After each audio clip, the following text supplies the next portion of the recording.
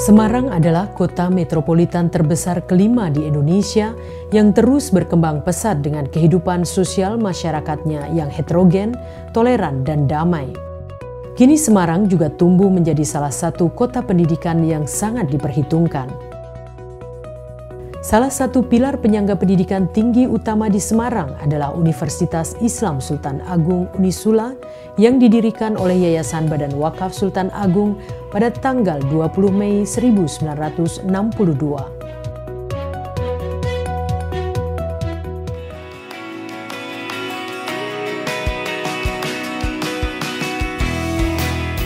Unisula menawarkan konsep pendidikan komprehensif berbasis Islam dengan budaya akademik Islami sebagai strategi pendidikannya.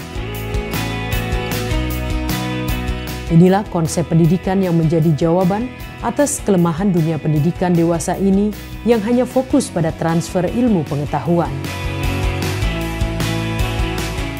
Di Unisula, para mahasiswa dibudayakan untuk menguatkan ruhiah dan iptek yang diimplementasikan melalui penguatan akidah, ibadah, akhlak, gerakan sholat berjamaah, gerakan berbusana islami, gerakan toharoh, gerakan keteladanan, gerakan keramahan islami, gerakan kualitas hidup, memperkuat semangat ikro, mengembangkan iptek atas dasar nilai-nilai Islam, Islamic Learning Society, serta apresiasi iptek. Inilah terobosan pendidikan yang diharapkan mampu menjawab tantangan zaman dengan mengkader generasi unggul yang bertakwa, kompeten, dan berdaya saing. Unisula memiliki berbagai fasilitas unggulan, antara lain perpustakaan terakreditasi A yang modern dan memiliki peranan penting dalam membangun pilar pengembangan Islamic Learning Society. Sebagai penunjang akademik utama, Laboratorium menjadi sangat penting keberadaannya. Unisula berusaha memenuhi kebutuhan ini dan menjadikan prioritas untuk terus dikembangkan.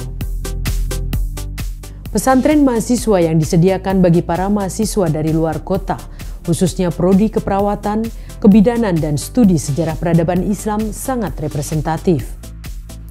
Kantin Pujasera Pumanisa menyediakan berbagai kebutuhan mahasiswa akan kuliner Nusantara dilengkapi juga dengan pusat kewirausahaan mahasiswa.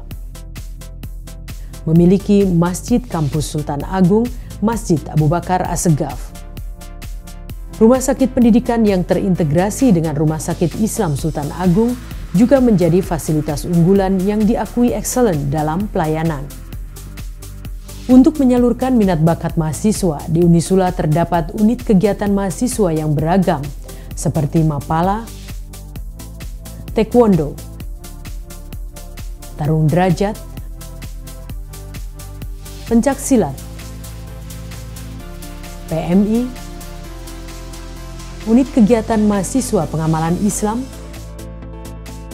kelompok seni budaya, menwa, pramuka, dan masih banyak lagi.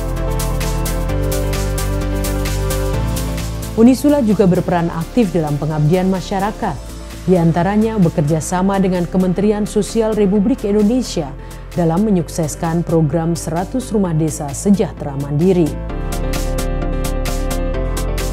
Sebagai World Class Islamic University, Unisula telah menjadi pilihan kuliah mahasiswa dari berbagai negara. Unisula juga terbukti berhasil mengantarkan para mahasiswanya menempuh pendidikan di berbagai universitas mitra di luar negeri Universitas juga memfasilitasi para mahasiswanya untuk terampil berbahasa internasional seperti bahasa Inggris, Arab, dan Korea. Mahasiswa-mahasiswa Unisula juga memiliki prestasi di kelas dunia. Antara lain, menjadi juara umum kontes robotik di Trinity College Amerika Serikat pada bulan April 2016 dengan mengalahkan tim-tim kuat dari China, Israel, Amerika, dan lain-lain. Unisula didukung oleh para dosen yang kompeten di bidangnya, antara lain Profesor Dr. S. Imam Wahyudi Dea yang memiliki kepakaran di bidang water management yang berhasil menginisiasi berdirinya Delta Center on Climate Change pertama di Indonesia.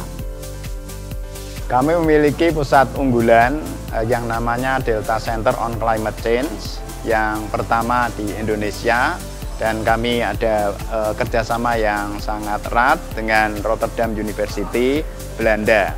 Pusat unggulan ini diharapkan dapat memberi sumbangan bagi penyelesaian masalah pantai, khususnya rob dan banjir yang ada di sepanjang wilayah pantai utara Jawa.